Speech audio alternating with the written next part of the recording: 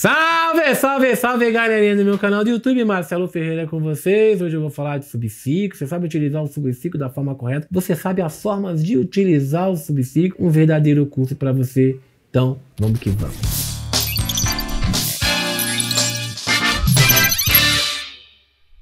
Mas antes desse verdadeiro curso aqui, né, Fimate Club é o caminho para você ser consistente, é o caminho para você ficar antenado de tudo que rola na semana.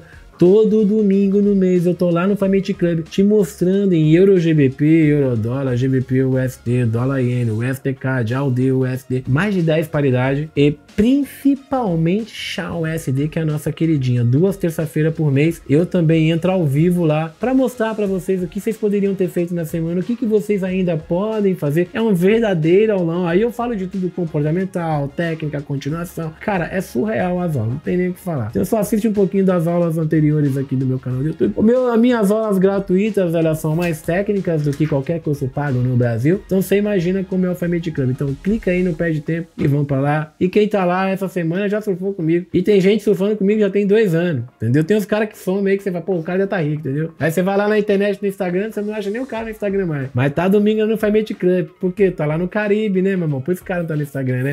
Vamos que vamos, hein? Hoje eu vou falar aqui de sub subciclo, irmão. Subciclo é o seguinte. Eu vou compartilhar minha tela com vocês aqui, né? Vou compartilhar a tela e vou dar um exemplo para vocês aqui de subciclo. Como vocês podem melhor utilizar o subciclo aí no dia a dia. Presta atenção. Vamos olhar aqui uma situação de USDJPY.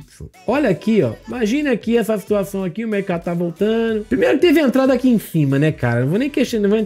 Tem entrada em vários lugares aqui. Eu não vou entrar nesse mérito aqui agora. E eu vou dar um exemplo, um caso aqui. Vou dar um exemplo aqui. Nesse, nessa vela que tá rompendo aqui. Ó. Nessa que tá rompendo. Vocês chamam aqui de kit bengala, que é uma vela grandinha, né, e tal. Nem leva ela tão em consideração assim. Eu poderia fazer aqui vários tipos de situação, vários tipos de entrada. Mas hoje eu vou mostrar aqui uma o que eu chamo de antecipação de entrada, que é uma gestão que eu faço de M15 para M1, por exemplo. E aí vocês podem usar em qualquer gráfico. E eu vou mostrar aqui uma redução do risco através do subciclo nessa situação aqui. Vocês percebem que essa vela ela foi fechada aqui embaixo. Ela rompeu ali, para quem está esperando o fechamento, ela fechou aqui embaixo. Então aqui a gente tem duas situações, né? Que a gente tem que levar em consideração. Tem um cara que está operando o fechamento de M15. Para esse cara que está operando o fechamento de M15, esse cara não deveria entrar nessa ordem. Não é um tipo de ordem que eu gosto de entrar, por exemplo. Esse cara aqui que ele deveria ter feito medir o canal aqui com calma, canal de referência, zona neutra ali, aí também que tá rompendo expande o canal até o fechamento da vela e fica ali seguindo, fica ali acompanhando. Rompeu uma região, pau, aí beleza, foi lá, fez entrada. Para quem botou o takezinho de um nível aí já pegou o take, né? Pá, fez entrada, ok. Mas não era um tipo de entrada. Agora tem um cara que ele é mais ligeiro. Não é que ele é mais ligeiro, ele tem uma estratégia diferente. Falar que é mais ligeiro é foda. Eu posso influenciar sei das coisas erradas. O cara que ele segue ali um outro tipo de estratégia ele tem uma variação de tempo gráfico maior, por exemplo. Esse cara aqui, ele é o semanal PM15, dois tempo gráfico. Tem um cara também que me segue aí que opera três tempo gráfico, semanal M15 para M1. Muitas vezes ele consegue antecipar essa linha. Então, como que ele pode fazer para antecipar essa linha aqui? Eu vou colocar lá no M1 agora eu, eu gosto de fazer algumas operações em gráfico M1, entende? Eu curto. Mas eu recomendo para o iniciante operar o gráfico M15 ali, cara, seis meses pelo menos. Seis meses. Vocês vão morrer agora. Vocês estão quantos anos vocês estão aí? Vocês vão morrer. Bota aqui no comentário aí. Quantos anos vocês têm? Vocês não vão morrer agora. Se vocês, vocês bebem muito, vocês fumam muito, como é que é? Eu não sei. Você não pita, não? Não. Que bom, mas eu pito. Eu pito muito. Mas eu espero não morrer agora também, entendeu? Então não precisa ter tanta pressa assim. Mas, cara, vai ser melhor pro teu futuro. Investe nisso, cara. Seis meses ali, semanal PM15, destruindo a técnica, conhecendo a estratégia, se autoconhecendo ali na semana. Como que você vai se comportar ali durante o jogo, entendeu? E aí você vai mudando algumas regras de comportamento ali com o jogo andando. Então, assim, depende muito, tá? Mas imagina aqui, né, que no gráfico M1, eu particularmente vou fazer essa entrada aqui, por exemplo. Ah lá, tá vendo essa linha aqui? Essa linha azul aqui, gente, o 147,575, nada mais é do que no M15. Essa linha que eu tava marcando aqui no M15, tá vendo? Nada mais é do que esse fundo aqui, tá vendo? Que é o 575, tá? Olha como é que ele foi rompido no M1. Olha onde que foi o fechamento de vela no M15. Vamos fazer isso aqui, ó. Olha onde que foi o fechamento de vela no M15, ó. Olha onde que foi o fechamento de vela no M15, tá vendo? Aqui eu vou traçar, eu vou botar a linha vermelha só para vocês entenderem, ó. Olha onde foi o fechamento de vela no M15. Vamos no M1 agora olhar. Olha essa linha vermelha no M1. Olha onde ela tá. Olha onde ela tá.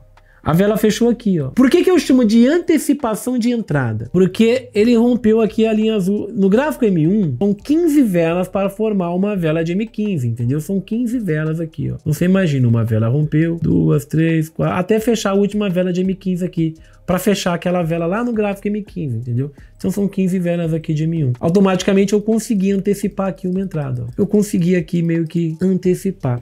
Então esse aqui é daqui que eu vou desenvolver o primeiro tipo de subciclo para esse tempo gráfico. Qual subciclo que eu aplico aqui num tipo de operação como essa? Aí tem vários tipos. Qual que é o tipo? Imagina aqui, eu tô aqui acompanhando o canal, então eu faço aqui canal de referência. Tenho aqui o canal de referência, tá vendo? E faço aqui minha zona de... Se eu executo no M1, eu posso fazer aqui meu subciclo seco no M1, ó. Primeiro eu falei não se então vocês aprenderam aqui a antecipar a entrada, né? Ah, não quero que seja um padrão de vocês. Nunca esqueça ali, cara, 5, 6, 7 meizinhos ali operando semanal para M15. Vai fazer bem para vocês, hein? Vim para M1 direto, vai tomar couro. Então aqui, regra básica da Famate, stop fora da caixinha aqui, né? No M1 mesmo. É, isso aqui encurtou o meu stop, deixou ele mais barato e tal. Enfim, serve muito quando eu entro pesado, né, cara? 200 de lote, 300 de lote. No Shaw USD, pra vocês terem noção, 10 de lote no Shaw USD já dá stop ali de 50. 50, 60 mil reais, entendeu? Geralmente eu opero de 100 a 200 lotes. Já dá um stop mais salgado ainda. Imagina você colocar ali um lote grandão dele, cara, 100 lote ali, eu já opero o gráfico M1. Por quê? Porque se voltar, mano, eu vou tomar uma chumbada ali de 4, 5 milha, pai